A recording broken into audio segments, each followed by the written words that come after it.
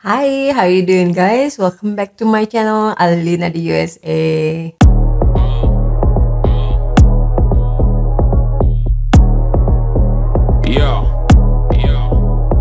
Di channel ini, aku akan banyak membahas tentang Amerika dari lifestyle, pendidikan, sosial dan budaya dari sudut pandang orang Indonesia. Jika topik tentang tinggal di luar negeri, studi di luar negeri, kerja di luar negeri, atau menikah dengan orang luar negeri adalah sesuatu yang kalian minati, channel ini cocok buat kalian.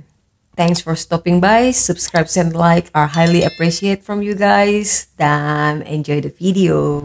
Hari ini temanya sesantai itu, So, kembali lagi ke edisi serba 10 dari Amerika bersama Alina di USA. Aku lagi males banget repot, jadi hari ini aku pakai oversize hoodie.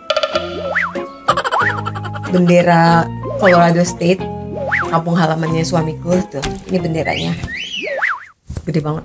So anyway, di kategori serba 10 dari Amerika edisi ini, aku akan membahas tentang makanan-makanan Amerika yang kemungkinan orang Indonesia kalian belum tahu bahkan belum pernah dengar atau mungkin sudah pernah dengar tapi belum pernah nyobain ini aku akan jelaskan ya ada 10 sebetulnya ada banyak cuma ya aku kompres jadi 10 kalau kalian tertarik aku akan bikin part keduanya. Oke?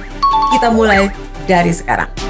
Nomor satu adalah grits terbuat dari jagung yang ditumbuk bersama mentega dimasak dengan krim enak banget. Nomor dua, gumbo dan kejun.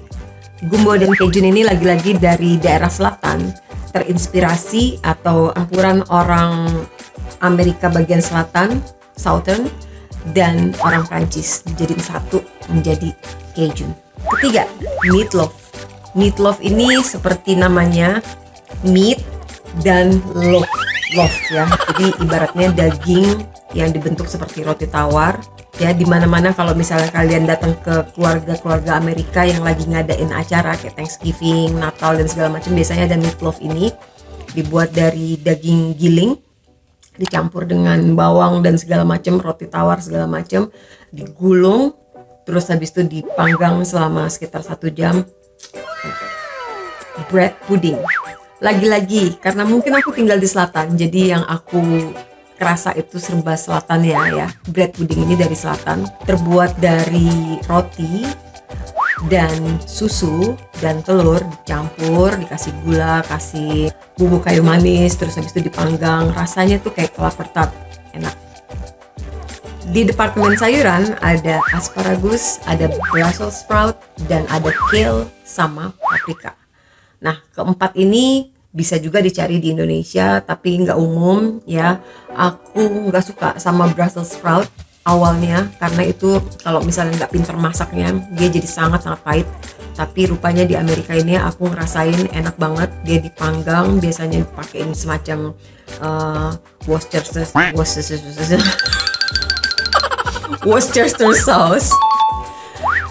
Dan dipanggang sampai kering banget itu rasanya enak sekali. Lalu uh, sama juga dengan asparagus asparagus biasanya dibang, dipanggang terus dimakan begitu aja kriuk-kriuk enak terus kale kale itu uh, yang aku banyak tahu biasanya dijadikan jus diminum jadi yang warnanya hijau kental itu biasanya dipakai dipakai orang-orang yang pengen diet untuk ngurangin berat badannya kale. Nomor 6 adalah makanan yang terinspirasi dari negara tetangganya Amerika, yaitu seperti Meksiko, Kolombia, Puerto Rico, kayak gitu ya. Di situ ada tamales, tulisannya tamales, tapi mungkin saja dibacanya tamale, taco, terus burrito, chimichanga, uh, poblano, macem-macem, dan rasanya enak. Isinya paduan dari avocado, avokat, tomat, daging, lots lots of cheese, keju yang banyak dan bervariasi bentuk kejunya meleleh-leleh, enak enak banget. Lalu yang ketujuh adalah turkey. Ini pasti nggak nggak asing sih ya karena di setiap acara di setiap film sering dijelaskan uh, orang Amerika itu kalau ada acara Thanksgiving atau mungkin Natal dan segala macam tuh pastinya dia turkey. Biasanya Thanksgiving sih pakai turkey gitu. Jadi uh, ini makanan khas lah sama kayak kalau di Indonesia tuh ketupat dan dan yang lain-lainnya pas lebaran uh, I cannot say much about Turkey uh, American Turkey karena um, aku nyobain dan rasanya biasa aja tuh nggak enak. Ya 6 lah pokoknya nilainya. Jadi biasanya Turkey utuh dikosongin dalam perutnya terus diisi makanan diisi potato terus wortel terus sayur-sayuran daging-dagingan dan segala macam lalu di nomor 8 ada alligator. Ya daging buaya bukan lidah buaya. Jadi daging buaya ini cukup terkenal lagi-lagi di selatan ya. Banyak banget yang makan ini. Katanya sih seperti ayam uh, proteinnya tinggi terus habis itu bisa nurunin darah tinggi dan segala macem katanya. Tapi aku belum pernah nyoba nggak akan pernah nyoba juga. Kalian mau coba yang kesembilan ini adalah yang paling populer dan yang paling aku nggak ngerti kenapa sih orang-orang suka gitu ya. PB&J PB&J yaitu peanut butter and jelly.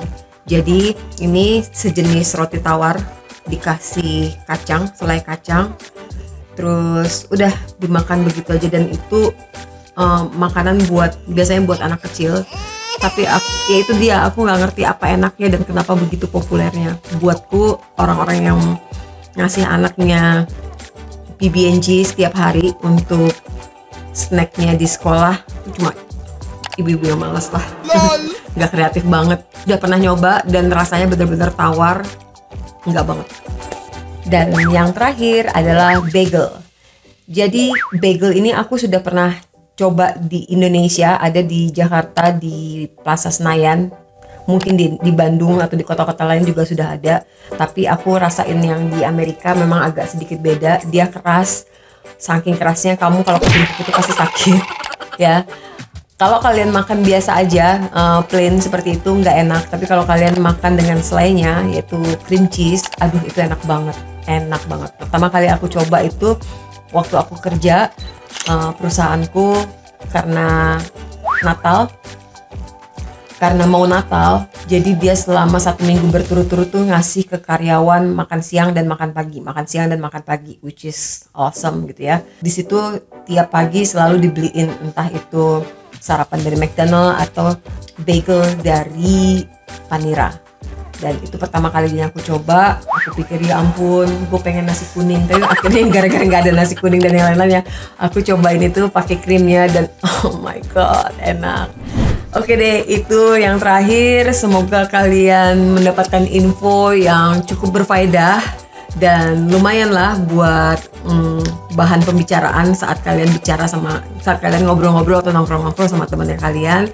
Jika kalian suka, please like and subscribe dan sampai ketemu di konten-konten berikutnya Alih Alih USA. Bye bye.